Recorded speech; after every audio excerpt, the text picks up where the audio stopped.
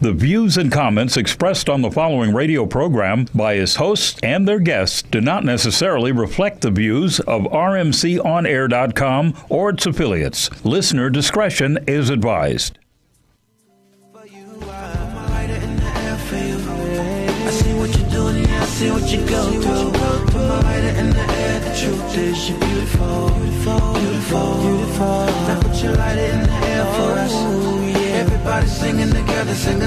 What's up, Just Sports with Sonny Wells? I love that song. You're beautiful. Makes me think they're talking about me. Ha! But uh, what's up, everybody? Uh, in studio tonight, Mr. Pierre. Uh, I don't know if Chris is going to chime in. He might a little bit. He did one show. He did pretty good too, as a matter of fact. That's true. But uh, Sure did. Top of the show today, we have some clips. Uh, one in particular, um, you know, we got the playoffs going on in the NBA, and uh, it's been some really exciting basketball. I haven't really seen this much excitement in a lot of years. You know, we're we're down to the Eastern and the Western Conference Finals. Right. But even before that, you know, these games were like to the wire right. last second shots. Uh-huh. Oh, I must say, uh, I'm now assistant coach over at Trade Tech, and we won last week on a last second shot to beat the defending league champions. There you go. Congratulations. Thank you, thank you. We was we was running around in there like it was a championship. Oh, it was fun. It was Yeah, fun. yeah, that's good. yeah. Uh, then, real quick, my wife wanted me to show this. This is um, something we'll be doing on my birthday, July 11th. Uh, not sure what the format's going to be, but uh, she wanted me to make sure I show this, and if I don't show it, she, you know, I got to hear her mouth, and I'm not trying to hear her mouth. uh, it should be a good event. LA Trade Tech uh, on my birthday, July 11th. Uh, we'll have uh, some food and a lot of stuff for the kids. It's uh, a little basketball tournament that she's always wanted to do, so uh, we hooked it up and got the dates and everything. Uh, we had said that we wanted to go right into um, after we found out what picks the Lakers got, and that was going to be something you wanted to expound upon, Sure, the historian. Sure, right, right. So, what you got for me, Pierre? All right. Well, first of all, shout out to Sun Lady. Sun lady. Sun Lady's definitely shout out to her, and of course, definitely miss you in studio, Smitty. Uh, Yeah, can't wait till you Smitty, and back. Dewan, Right, right. hmm and all you other people that right, uh, exactly. are invited that don't come. All right. Well, yeah, uh, the the Lakers, um, the the the lottery, the draft lottery was held uh, this this week, and um, the Lakers were fortunate enough to, to, to get number two, the number two pick in the draft. I think that's uh, excellent for the Lakers. They, like I said, were very fortunate to get the number two pick. Now that might hold a lot of, a lot of goodwill to their fortune, depending on who they draft, depending on how they go about managing the, the new talent that they have coming in. Meaning that they have the number two pick, probably going to you know either either you know they got from Kentucky or the other one from uh, from Duke, Oak from Duke. E- I like that boy one. from Duke. Right, He's right. solid. Minnesota's number one. Minnesota got the number one pick, but with the Lakers, it, it's not. It's not just going to be the draft pick. I mean, they're going to have to transform, in my opinion, that entire team. I mean, I'll start out with firing Mitch Kupchak, firing Byron Scott. Why you want five Byron Scott? He ain't been there long enough to do anything. Well, you know what? With just all this new talent, the, the Lakers are probably um, probably makes coming in. Uh, you know, I, I don't know if they're going to keep anyone, um, offer anyone, you know, who's on the team now, any any serious, uh, let's say, uh, uh, serious security, meaning that you know, give them a long term contract or whatnot. They'll probably go out and see if they can get a couple of nice free agents, especially knowing that Kobe Bryant, from what we hear, rumor has it that this is going to be Kobe Bryant's last season. Oh, So- and, and with that, let's play that clip. I, I can't see him g- actually going anywhere else. First of all, Right. and I don't know if it's going to be his last because if he comes back and he does decent, Let's just say if, he gets to sign again. right. Well, if he's averaging twenty something points a game, He gonna sign again. back. But do the Lakers even want his his his aura, his presence? Well, let's look at the clip and see what they talk about, and then come back to that. Sure. So, idling on the bench for most of what turned out to be the Los Angeles Lakers' worst season ever apparently hasn't made Kobe Bryant want to push himself even harder. The NBA star himself has not yet set a formal timeline for his retirement. But Lakers general manager Mitch Kupchak has now said twice in the last six months that Bryant will likely pack it in after the 2015 2016 season. During an interview on Sirius XM NBA radio, Kupchak said he has indicated to me that this is it. I think first and foremost, he's in the last year of a deal. There have been no discussions about anything going forward, and I don't think there will be. Now, you know what I got out of that? That's leading. All of that's leading. Okay. You know, saying that uh, there will likely be no. He didn't say that. You didn't give a quote or a, you know end quote or anything like that or beginning quote. They're leading him into that. Um, and once again, like be, uh, before I said uh, when we played the clip, I don't think that if he comes back with some decent numbers, Right. he's gonna want to quit. Well, now how many how many athletes actually want to quit and actually leave on their own terms? I'm, I'm, I mean, I'm talking about where they're in a position where they could actually they still have enough left in the tank, where the team that, that they're playing for still wants to keep them around and don't give them like uh, like like the, the, minimum contract for the veteran of, of their tenure. Like for example, the way Allen Iverson, the way the Memphis Grizzlies, they told Allen Iverson they wanted him they wanted him on the team. They're going to give him basically he was going to go from in the high teens, let's say 18, 19 million, whatever his contract was previously, all the way down to the veterans minimum. Uh, but they still want him to play and they want him to come off the bench. Allen Iverson refused to do that. You know, and you say you saw a piece on that. We could talk about that at another time. But if Kobe, let's assuming Kobe Bryant scores, let's say twenty some points a game, he looks decent. It looks like he has more left in the tank, considering he's probably sat out for the last three seasons due to, you know, you know, major, major injuries. You know, so would, would would would you actually re-sign him? And if so, what about the team chemistry? And what would you re-sign him at? I mean, he's going to have to take a huge pay cut. Would he be willing to do that? You know what I mean? I mean, he'd have to go from probably what 28, 27 million to, to down to maybe five million. I mean, would Kobe be willing to do that? I don't know. I when Kobe first came into the league, Uh-huh. he played at the Summer Pro League at Right. the Pyramid, Long Right. Beach Pyramid, That's right. and so I announced most of the well, all the games, Right.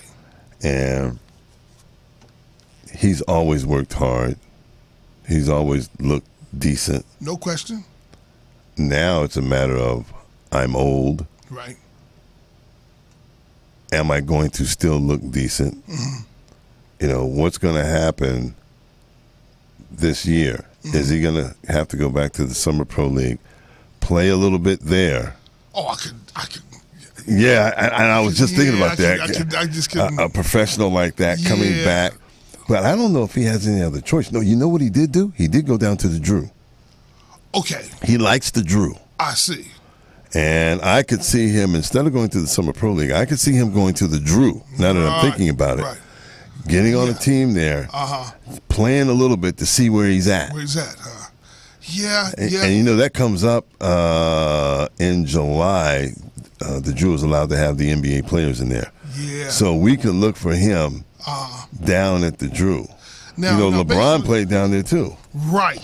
Uh, based on his contract now, especially with all the injuries he, he's made over the last few years, I don't know if contractually he'd be able to do that. If he could, though, I could possibly see him see him doing it. However, I'm coming from the angle and the opinion that look, the Lakers would be better off without Kobe Bryant.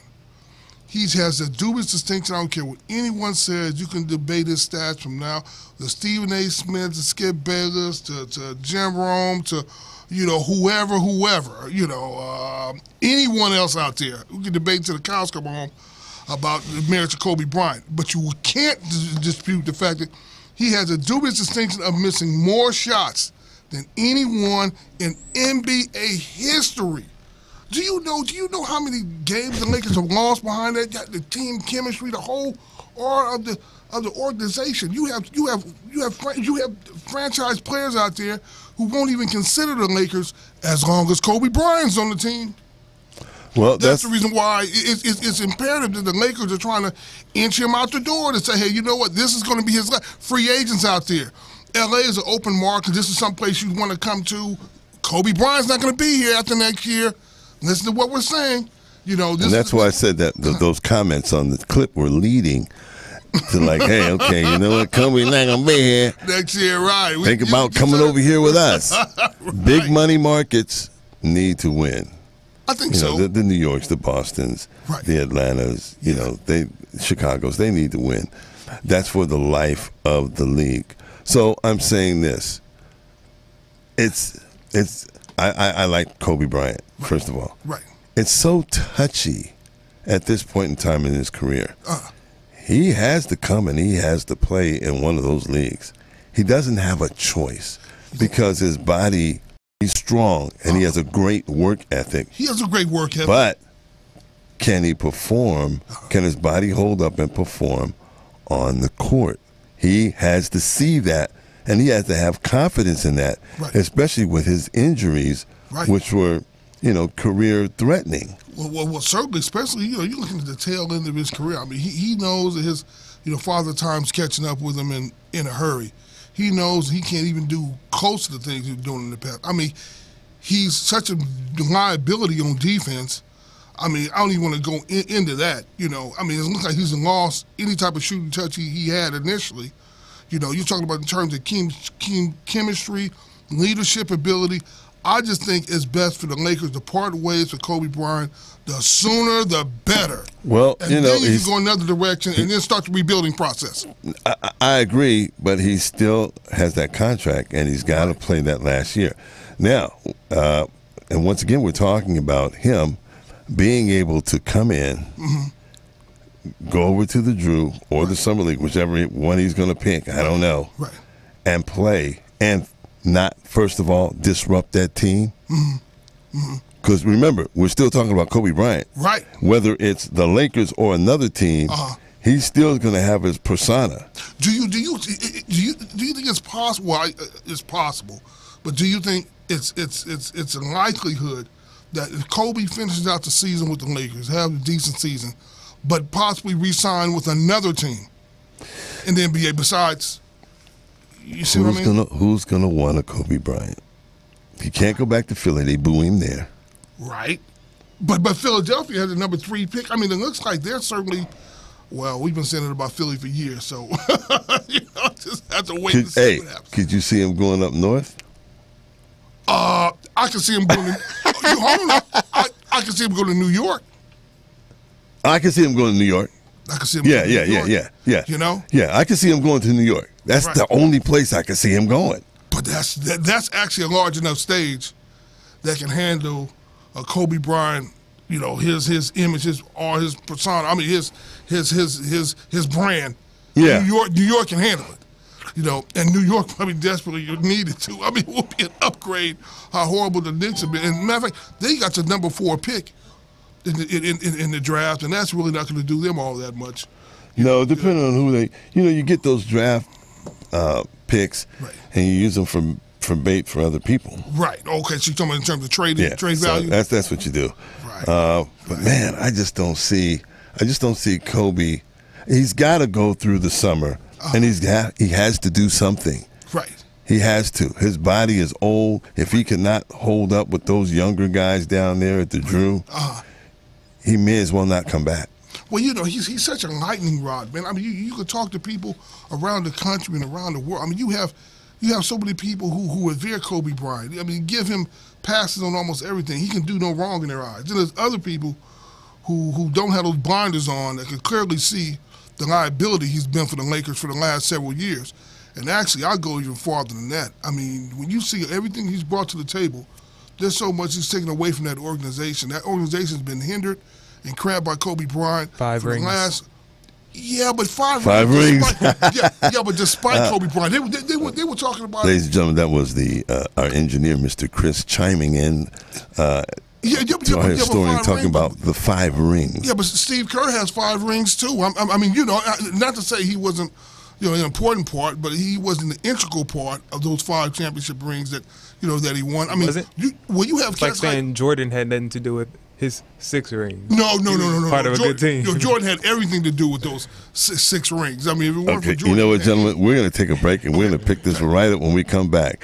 Uh, Just Sports with Sonny Wells. Uh, shout out to Pitbull. Here we go. Are you a diabetic? Need some energy? Need to quench your thirst? Try Pitbull Sugar Free Energy Drink, the only energy drink named suitable for diabetics by the American Diabetic Association. And it's now available with no calories, no carbs, no sugar, and no fat, and a smooth, natural blend of energy, vitamins, and minerals. Need to quench your thirst? Try Pitbull Sugar Free Energy Drink, the only energy drink named suitable for diabetics by the American Diabetic Association. And it's now available with no calories, no carbs, no sugar, and no fat, and a smooth, natural blend of energy, vitamins, and minerals. Pitbull Sugar Free Energy Drink is the healthiest, best taste energy drink around. For more information and online ordering with free shipping, please visit hiphopbev.com. Remember, Pitbull Sugar Free Energy Drink, suitable for diabetics, great for everyone.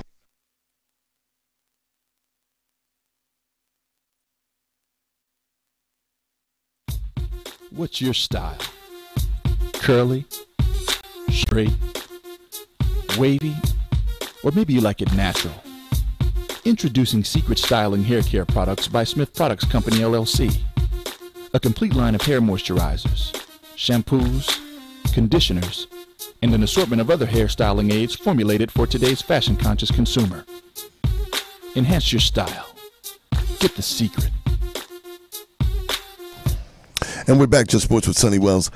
Uh, before we left to go to the break, we were talking about uh, Mr. Kobe Bryant and uh, whether or not he's going to be coming back next year. And if so, some of the things that he has to do to be able to come back. And I mentioned that I think that with his injuries, he's been off for a long time. Right. Uh, I don't know where he's been playing, if he's been playing.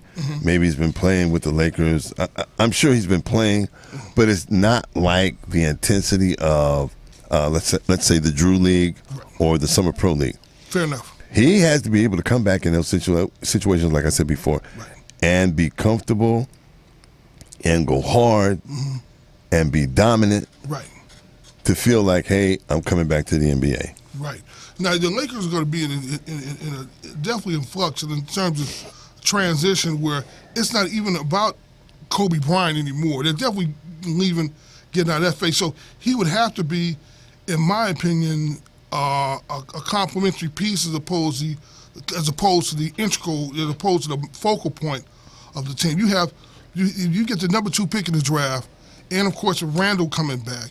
You know, you're looking at the fact that they're probably going to focus in on a low post game as opposed to a perimeter perimeter type of uh, offense. Now, Inside out. Right, exactly. Right, right. That's where they're going to start. Now, that's why I say it's, it's now we know you can't get rid of Buss, but you can certainly get rid of Kupchak and Scott. And I'm telling you that that, that, that leadership right there, those key decisions. You got to give Scott a chance. It's I- I one year. That's enough.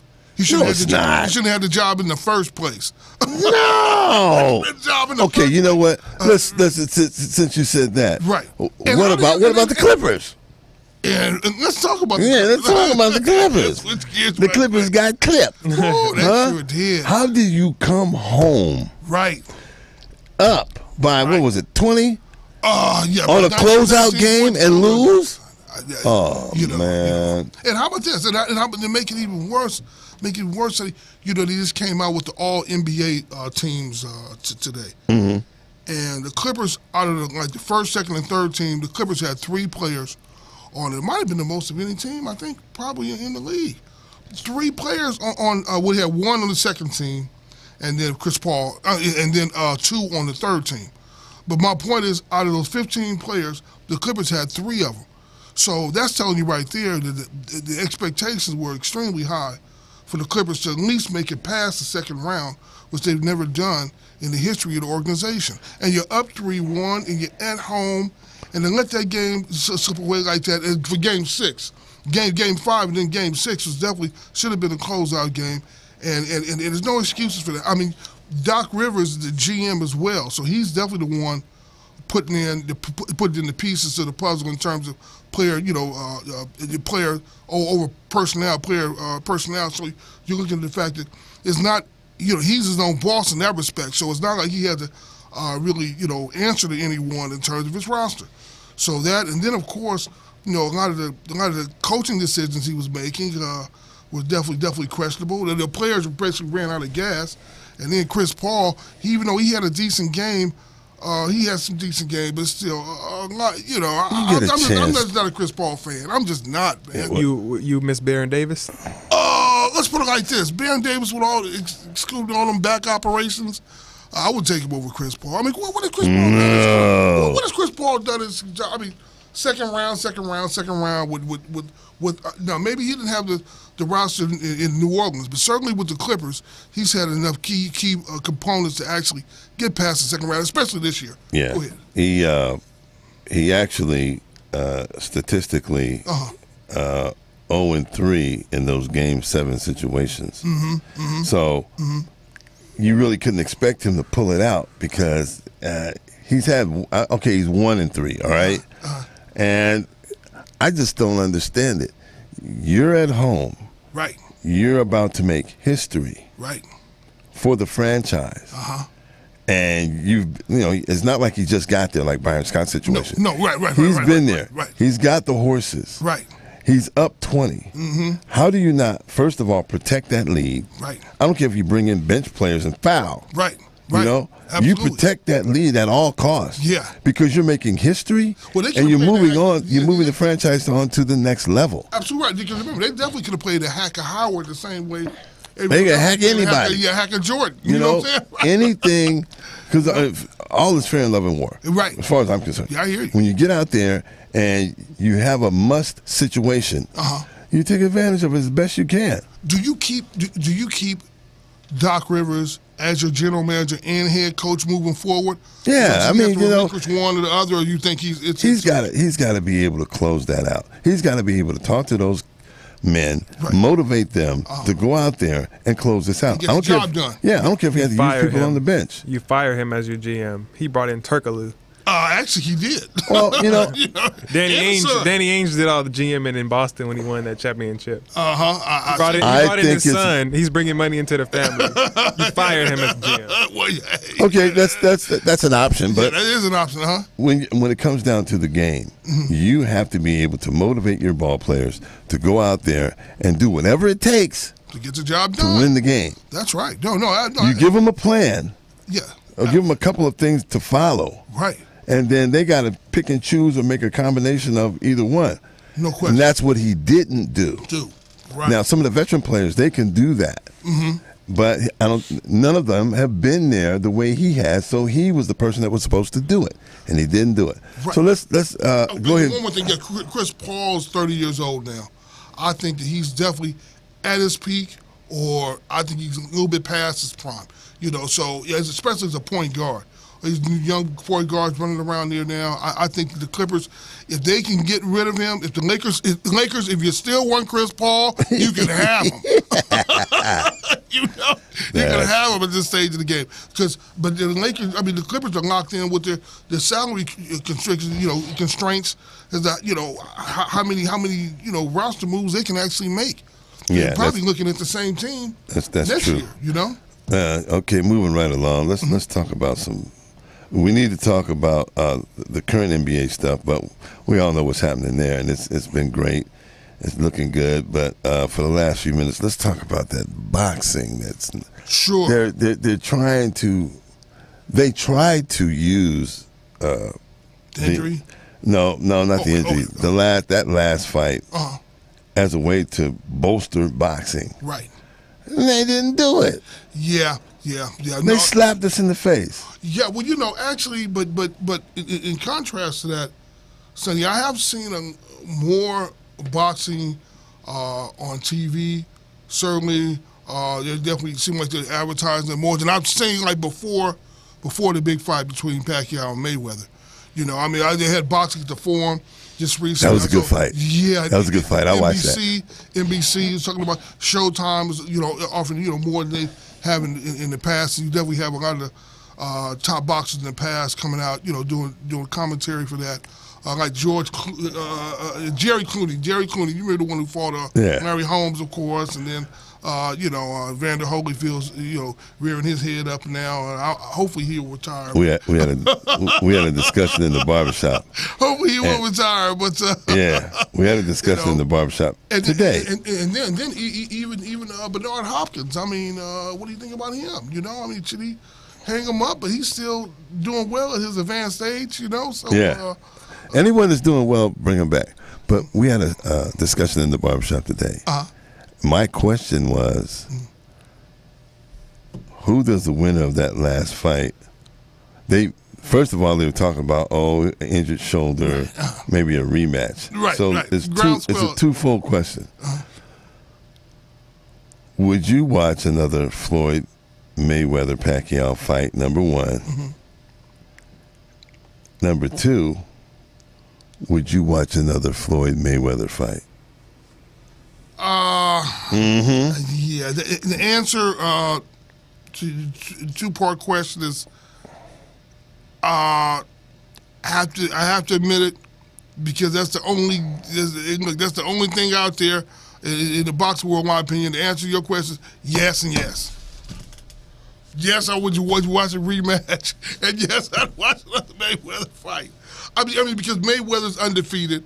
To see if he finally he's he's going to lose. Uh, number one, number two. I mean, he can fight anyone else out there, but it's still no matter what people are saying right now. If it was two weeks before the fight, you'd be surprised at how many people would really actually be in favor of that rematch. You know, you know, you have Pacquiao that just he has people all around the world. I mean, he he's I mean, even even though he lost the fight and we know it, and certainly a lot of people thought he definitely couldn't give his best effort, he's still widely you know regarded as as as uh, as someone who's who's very much revered around the world. You know, so he has he has a huge huge following.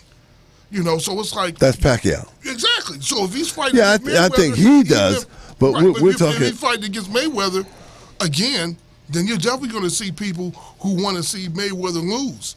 So you might find just as many people want to see Pacquiao win as want to see Mayweather lose. I know what you're saying now, but if it was two weeks before the fight and a bunch of rhetoric going back and forth and the injury this and he fought a one armed man and this, that, and the other, and you know, you know, yeah, you know, blah blah blah blah blah blah. I, you man, know, you're not gonna get me twice on that. they might not no get you. They might not get you, but there's a lot of people who would say, you know what, uh. he fought like an injured man. Let's see the real Pacquiao out there. Well, no, I don't think he fought like an injured man Oh, I'm with you. I think I- I- I Floyd think Mayweather. I think he whipped him, no question. because of his work ethic Right. And the way he trains. Mm-hmm. And I'm not saying that Pacquiao doesn't have that, but you know, this guy, two a days, seven miles each time. No, He's no, no, in stupid shape. There's no question Mayweather beat him fair and square. I mean, there's no there's no issue in, in my mind about that in the most. But to answer your question about whether the people would actually pay for, uh, you know, a rematch and whether I would watch it, I I have to say, yeah. I'm not watching none of that mess. I ain't watching it. I'm not gonna watch it. You know, he was uh, out. He could. Pacquiao couldn't do nothing with the boy. You c- Couldn't he, he up against the rope, rope a dope him? Like, come on, dude. You know, if, if that's probably where he hurt his shoulder at, trying to trying to beat him on the rope. He, he hurt his shoulder during the fight. Yeah. Not before the fight. No, not before the fight. It was during the fight. He trying to swing and and, and it gave out on him. Oh, That's yeah. what happened. Look. But uh, I I would not watch another Floyd Mayweather fight. Well, another thing I will say about you know boxers in general, I, very few boxers actually go into their fights completely healthy. I mean, there's generally something wrong with everyone. You know, I mean, if not your wrist, or a hand, or finger, or shoulder, or, or someone's always you know always going into it 100% healthy. You know what I mean? So I didn't so- know that. Yeah, yeah, yeah. So that's definitely no, eh, definitely no excuse. No excuse. Oh, and also I want to give a shout out to uh, uh, the Anaheim Mighty Ducks in, in the hockey world. Uh, they're uh, basically in the hockey's Final Four, uh, the Western Conference Finals, and they're actually trying to bring home the cup.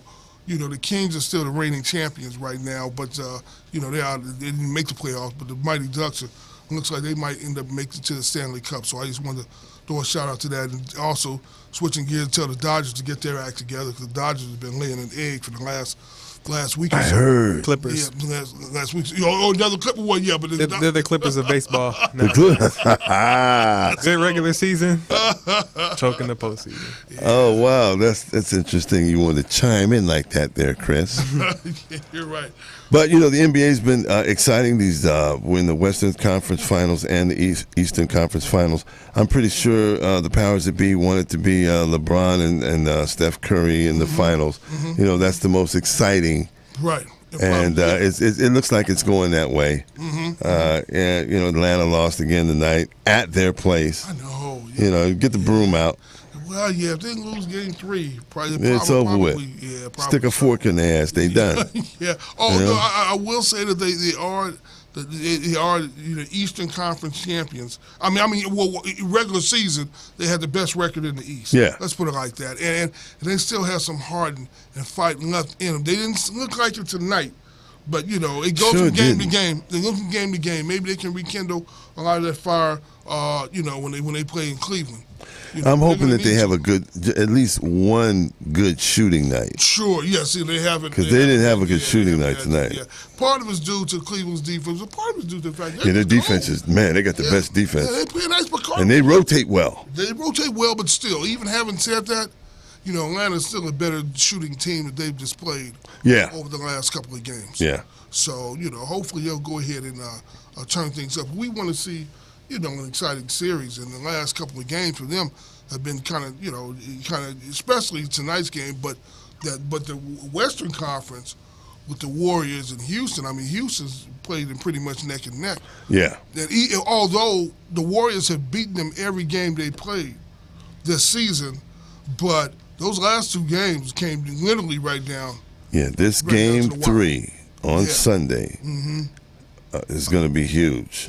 It's really going to be huge. Yeah. Okay, I guess we can get out of here. Uh, you got any more, Pierre? Uh, yeah, I have plenty more, but we don't have time for it, so we'll go ahead and let it roll on over to uh, Next week. Next week, yeah. Okay, this has been uh, Just Sports with Sonny Wells and uh, uh, the historian, um, Brother Pierre, and the uh, person that's uh, moving all the dials, Brother Chris, chiming in. All right, we'll see you next week on Just Sports with Sonny Wells. Big up to uh, Crystal Davis Wells, my wife, and Johnny Morris for letting us in here. We out. curly, straight, wavy, or maybe you like it natural. Introducing Secret Styling Hair Care Products by Smith Products Company LLC. A complete line of hair moisturizers, shampoos, conditioners, and an assortment of other hair styling aids formulated for today's fashion conscious consumer. Enhance your style get the secret.